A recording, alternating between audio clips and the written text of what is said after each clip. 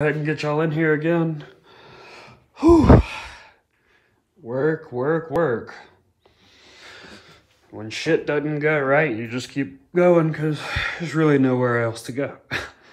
so, had the light working, brought it down.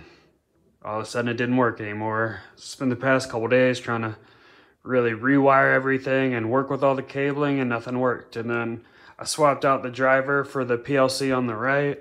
And then, what do you know, it started working again, but I'm still having some issues with the one on the left. So, you know, it kind of sucks, but it is what it is, you know. I'm trying to put, be honest with everybody, show everybody what's going on, because it's not always fucking easy, you know. Sometimes shit happens. Uh, but looks like everything's coming along pretty well.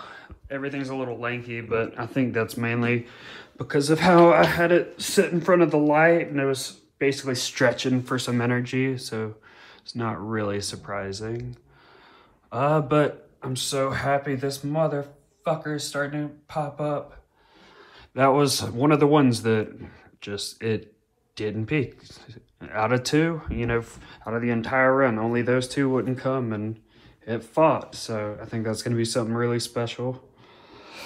Oh, but yeah, so just waiting about another day or two and I'll have some more equipment in and we're going to put together another for the 4x4 section in here. So we'll have two 4x4 sections of these badass LED lights and hopefully I can get the one on the left working soon also. But, you know, pretty soon everything's going to really start kicking off, you know, and you'll have a lot more to see other than sprouts and stuff like that. But this guy's, you know, really motivates you and shows you how to do it. Like, sometimes you just got to start. Even if you don't have everything together, just fucking do it. You know, it's so much rewarding just to get the shit done let alone being able to come home every day and really see like the growth and change. It's it's just fucking awesome. I mean, it's one of the only things that really just excites me during the day.